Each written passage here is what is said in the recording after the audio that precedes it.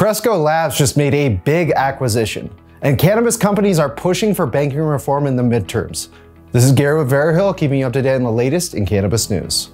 Cresco Labs acquired Columbia Care Incorporated in a $2 billion purchase, giving them access to new markets and putting Chicago at the center of the legal marijuana industry. The companies together will operate in 18 states.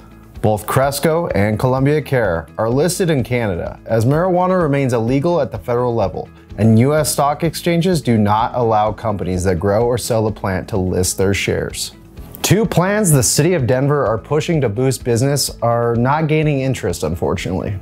No marijuana tasting rooms or common alcohol consumption zones have opened since the city legalized both last year. Part of the problem is the lengthy application process that can take between six to nine months.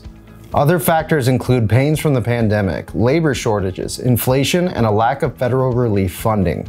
The strict restrictions and requirements also make it difficult to attain the licenses as well. Social equity applicants are at the top of the list, but applicants say a restrictive zoning rule that bans marijuana businesses from being within 1,000 feet of each other or close than 1,000 feet to schools is also hindering their ability to break into the industry. Cannabis companies are pushing lawmakers to get a cannabis banking reform bill to President Joe Biden's desk before midterms. Fears of a Republican takeover dooming the bill are looming. However, with Kentucky's recent bill approval and growing bipartisan support, it remains possible regardless of what party is in control of Congress. More than 20 chief executives of top cannabis companies urged lawmakers in both parties to pass the SAFE Banking Act. The SAFE Banking Act would enable legally operating cannabis firms to use banking services and credit cards. This would reduce crime as large amounts of cash in dispensaries are prime targets for burglaries and armed robberies.